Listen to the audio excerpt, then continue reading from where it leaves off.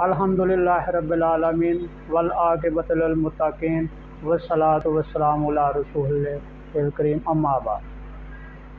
मुहतरम नाजरीन कराम मैं काजी सैफुल्ला खालिद हूँ, जो M S twenty one news H D के हवाले से आपसे मुखातब हूँ। अल्लाह ताला की तौफीक से हम एक नया सिलसिला शुरू कर रहे हैं, जिसमें शरा असमाउल हुस्ना अल्लाह ताला के मुबारक नामों के मानी और उनके फ़वाद पर आपसे बातचीत करेंगे। बारगाह रब्बुल इज़्ज़त में दुआ है कि अल्लाह ताला मुझ जैसे शख्स को अपने पाक नामों की तशरी करने की तोफ़ी फरमाए।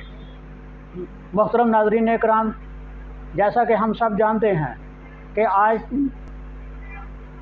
पूरी दुनिया में हम मुसलमान इंतहाई जलील ख्वार हो रहे हैं।